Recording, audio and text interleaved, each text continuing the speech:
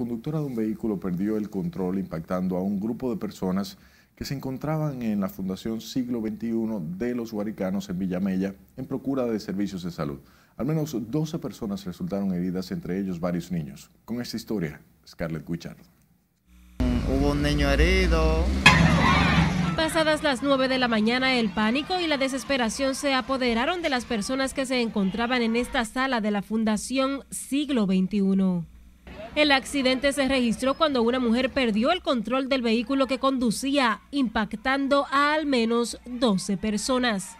No, la señora supuestamente ella estaba chequeándose acá y cuando se montó en el carro parece que fue a dar reversa y se le quedó el carro acelerado y, entró para acá, para adentro. Cuando yo salí simplemente vi el carro dentro del hospital, la aconsejé que estaba abajo del carro, sacaron de este lado un niño.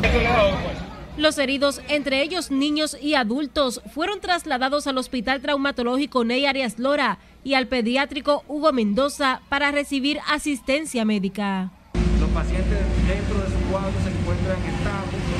Eh, aquí estamos brindando la atención de una manera oportuna.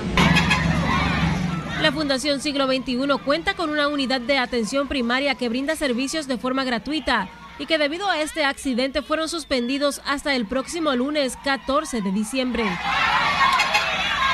Es Carelet Guichardo, RNN.